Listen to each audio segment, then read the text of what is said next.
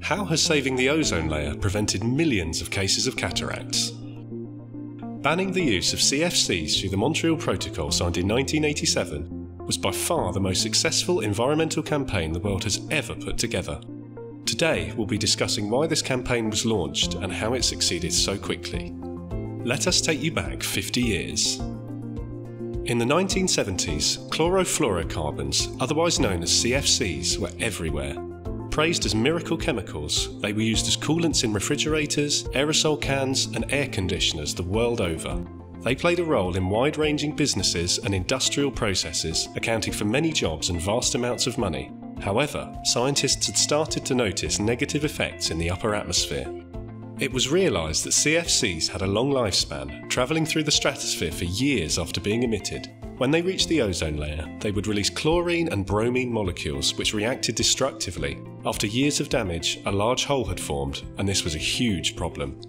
The ozone layer is a very thin but vitally important layer of our atmosphere, which protects people and animals on Earth by absorbing many of the harmful UV rays coming from the sun Without a strong ozone layer, cases of cataracts and skin cancer would skyrocket.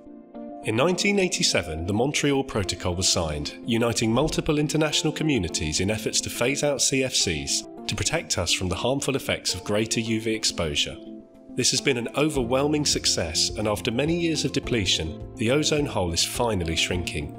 Scientists project that it will return to a natural size in the next 40 to 50 years. A study by the American Chemical Society in 2021 has revealed that over 60 million cases of cataracts and over 200 million cases of skin cancer will be prevented over the next 100 years by successfully protecting the ozone layer.